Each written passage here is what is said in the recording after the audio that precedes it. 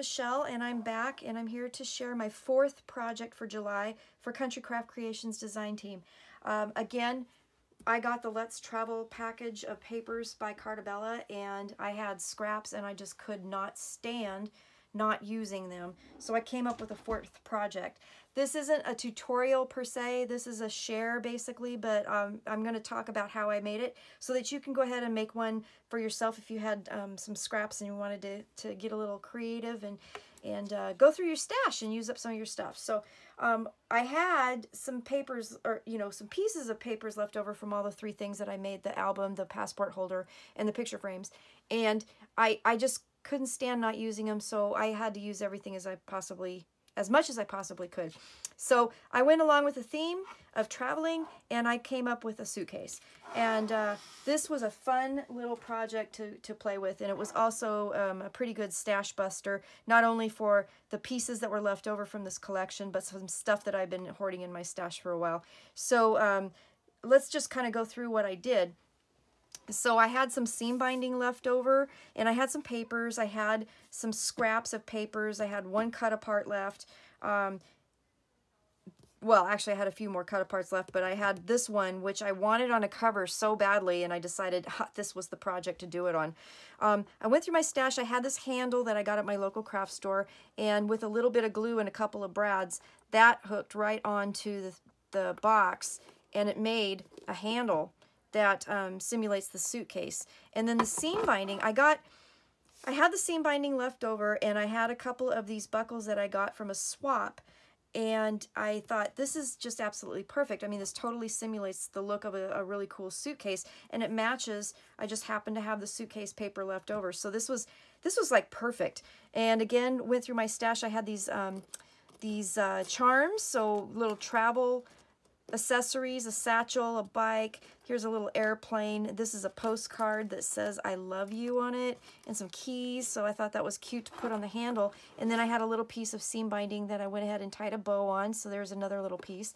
Um, the paper had these awesome little postage stamp looking pieces and from the scraps I just fussy cut those out and put them on the sides and the top of my box to simulate the, the stickers that you would get when you're traveling, you know, and all those um, things that people can put on their suitcases. So I, I wanted to simulate that. And then again, for the um, actual like cover of this, I had this uh, cut apart. I backed it on some cardstock. I used some enamel dots that I got in my design team kit. And in my stash, I had a couple of doilies, so I put those on there. And then these little pieces, which are little tickets and a passport and then this little piece um, uh, that says the world is calling. These are all pieces of paper that were left over from my previous projects.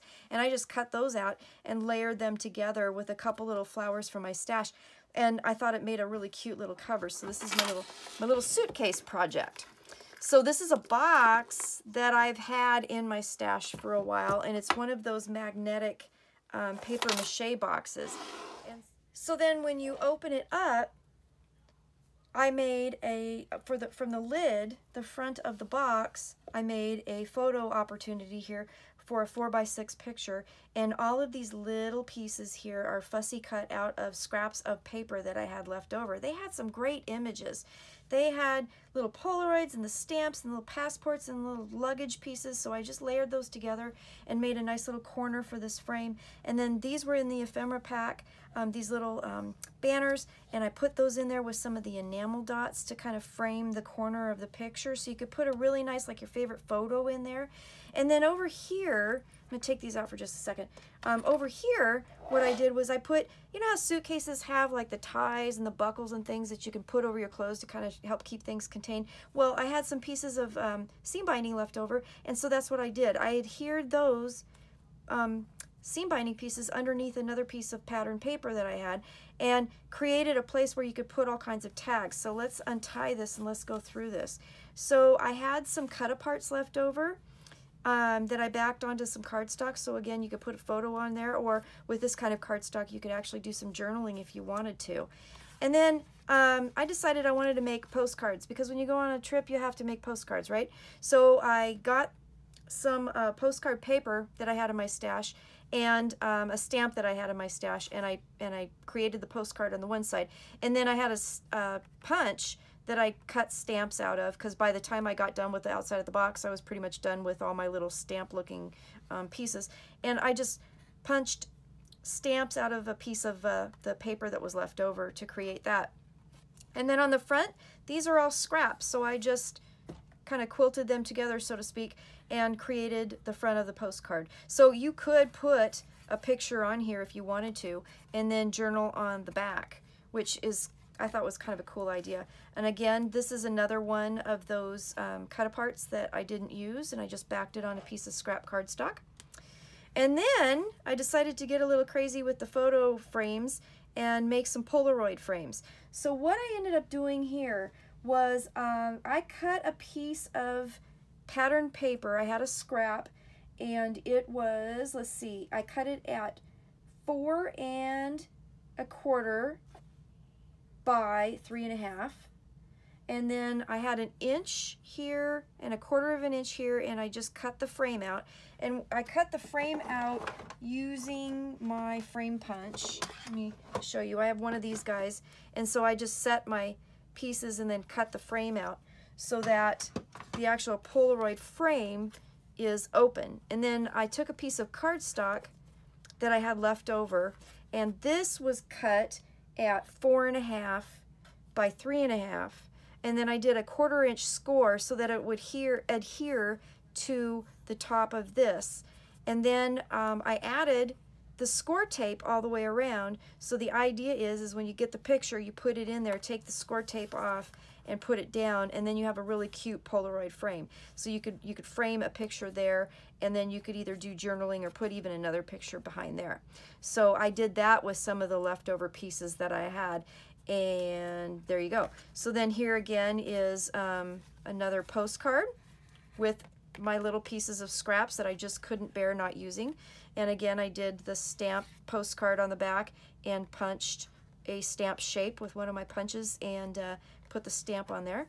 And then I cut apart, and this matches the front.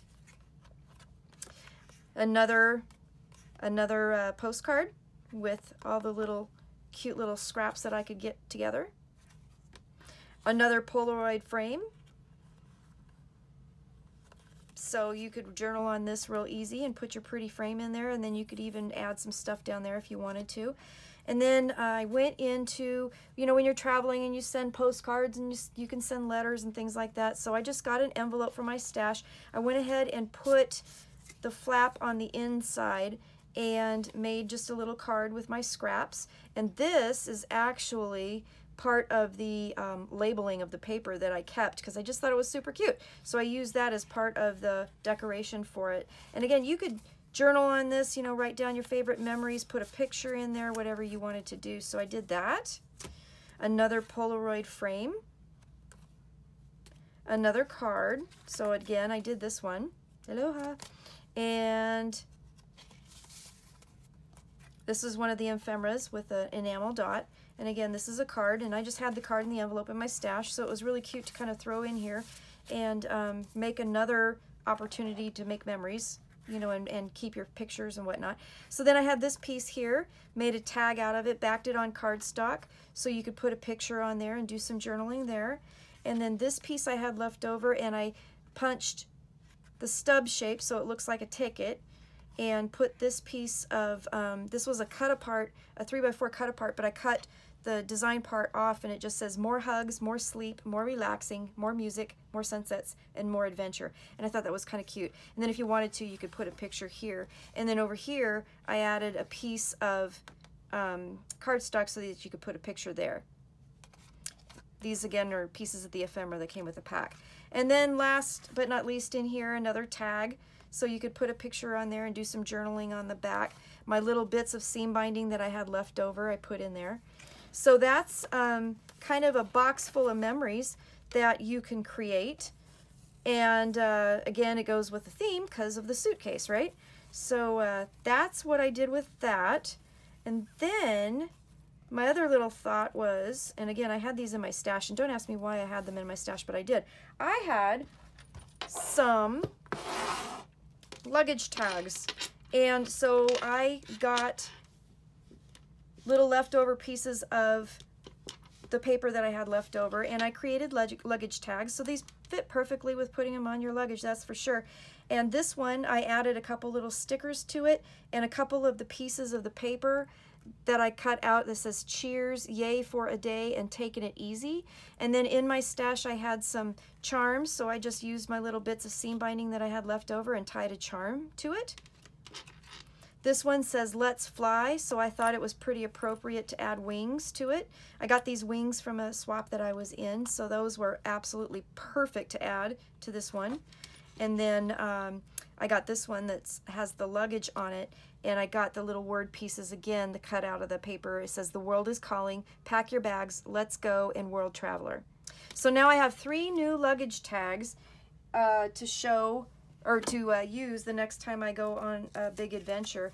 And then um, before I laminated them, I created a back side and I put some stickers on some white cardstock and then underneath this post-it note is my address and everything. So um, it's totally functional and useful and um, yeah, so I think I have exhausted all the themes I could come up with for the travel paper and honestly I don't have a whole lot left over so I'm not sure what else I could do.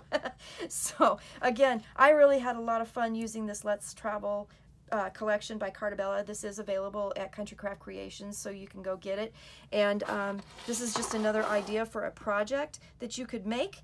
And I hope you enjoyed what I've shown you. So I'm working on August stuff now, and uh, I will see you soon with a whole brand new collection of things. Thanks a lot. I'll see you again soon. Bye-bye.